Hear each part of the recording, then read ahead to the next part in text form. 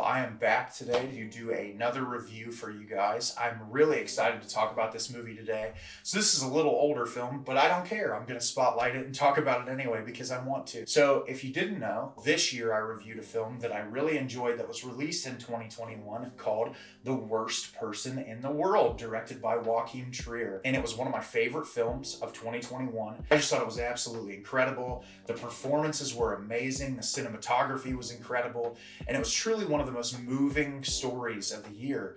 And I've been really excited to check out any and all things made by Joachim Trier. And there's a film that has been on my watch list for quite some time now, and it's called Thelma. Was streaming on Hulu, and I've been kind of putting it off for a while. And finally, I was like, you know what? I really want to see this movie. I think Joachim Trier is super talented, and I'm looking forward to seeing it. And this movie blew me away. It has similar cinematography and editing style to the worst person in the world, but subject matter and content wise, it's still really character driven and emotional but you have this supernatural element at play and it's almost psychological. Kind of elated it and it's on par with Worst Person in the World for me. I think both films are amazing. Me being someone who loves the horror and suspense genres, think that it was fantastic and I look forward to talking about it. Thelma is directed by Joachim Trier. A college student starts to experience extreme seizures she soon learns that the violent episodes are a symptom of inexplicable abilities. The beginning of the film introduces our lead character Thelma as a young girl, probably six or seven years old,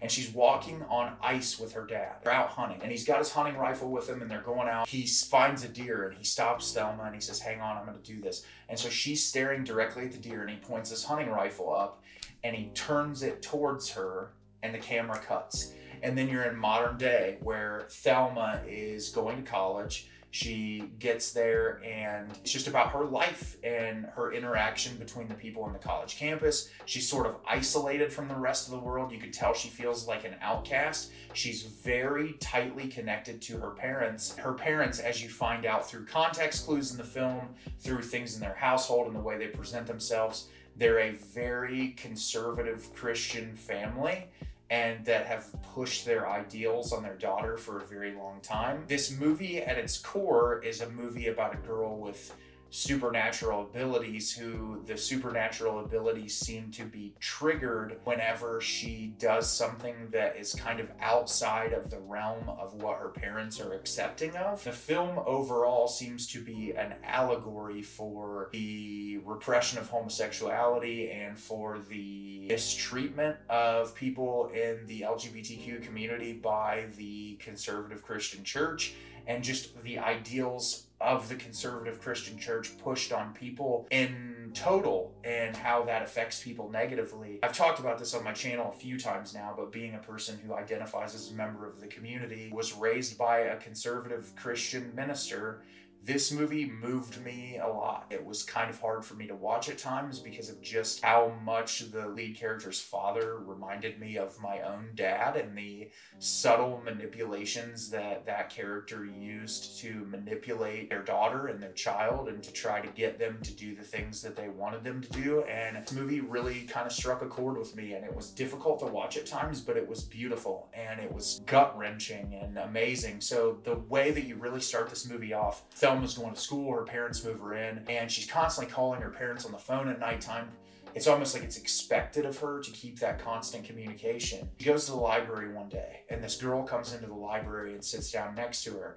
and she kind of gives her a passing glance, and the girl smiles at her. As soon as the girl smiles at her, Thelma like turns her head, and her hand starts shaking violently, and she starts having a horrible seizure, and she falls down on the floor. You see these birds outside, and they're kind of swar- swarming around outside, and one bird flies at the window and impacts the window while she's having her seizure. It's up and she goes to the doctor, and the doctor tells her, Well, you could have epilepsy, but we're not 100% sure. You might want to go get it checked out, but on our readouts, we can't figure out what caused it or what the reason for this is. She's like, Well, don't tell my parents. I really don't want them to know. And so that's the movie is the seizures start to get worse as she starts to bring this girl into her life. They start seeing each other and she becomes more of a part of her life. Well, this girl is dating a guy at the time that she starts seeing Thelma and she ends up breaking up with the guy because you can tell that her relationship with Thelma is so much stronger. They go to a party together and they start kissing, and she goes back home at one point. She just, just loses her mind essentially, and she has another seizure.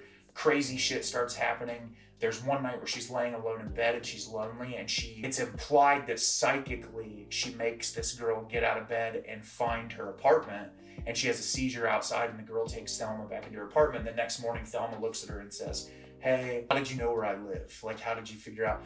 And she's like, Well, you must have told me or something. Get sort of insights into Thelma's psychic abilities throughout the film and how anytime she does something that is not acceptable from her parents' standards, it triggers these abilities. Like her parents don't drink because she they, they think it's wrong. And so she goes to a party and has wine and there's this really tough scene to watch that goes to the opera with this girl and her mother.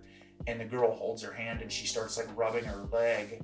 And she gets she makes the light fixtures in the opera start to shake and she runs out of the room and the girl comes out after her and they kiss really passionately and she goes home and she doesn't talk to her for a really long period of time. And she breaks down crying and she literally calls her dad and it's almost like she's going to confess to her dad that she engaged in this relationship well instead she tells a fragment of the truth and she tells him that she drank alcohol. He's like well you're an adult and you should be able to do these things but but i'm glad that you told me you needed to tell me. And it's like that subtle, I'm here for you as a parent, but there's also manipulation in his voice and the way that he's trying to guide her to be exactly like him and his wife. And you can also kind of see these powers as being something that could be utilized to help other people. And there's so many, so much good that could come out of her powers, but because her parents are afraid of them, they want her to suppress them. They want her to not use them, being as how members of the LGBTQIA community could be their most truer, truest form of themselves when they're out and they're them and they're comfortable in their own skin. And so that theme resonates really heavy throughout the film, and it's such a beautiful and moving experience.